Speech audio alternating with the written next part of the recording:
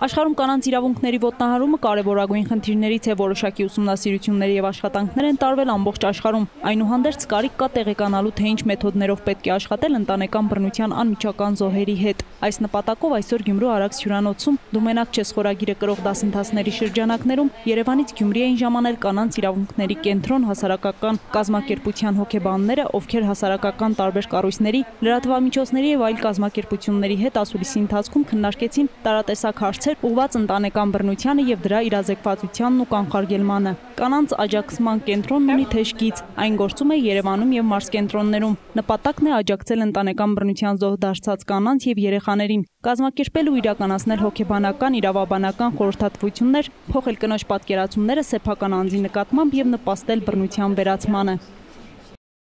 Փորձեք դուք ինքներդ սահմանել ընտանեկան բռնությունը, որն է ընտանեկան բռնությունը։ Եվ այստեղ իհարկե լսվեց տարբերակ, որ ընտանեկան բռնություն առաջին ասոցիացիան դա հարևանի ընտանիքն է։ Կուզեի, որ յուրաքանչյուրը եթե խոսի, ասի նաև թե արդյոք իր շրջապատում ինքը գիտի հստակ ընտանեկան բռնության դեպք։ Ընտանեկան բռնությունների կանխարգելման մասին օրենքի նախագիծ, որը երկու անգամ հետ է վերադարձվել, սակայն ըստ հայտնի տեղեկություններով պետությունը պարտավոր ձևավորվել է 2016 թվականի 4-րդ երամսյակում ընդունել նախագիծը։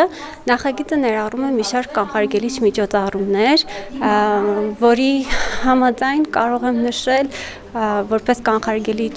միջոցառումներ ապարանջաններ են հագցնում բռնարարի ցերկին, որ 100 մետրից ավել չմոտենա զոհի բնակարանին 2010 թվականի դրությամբ մեզ հայտնի են 30 դեպք, երբ բռնության հետևանքով կանայք սպանվել են։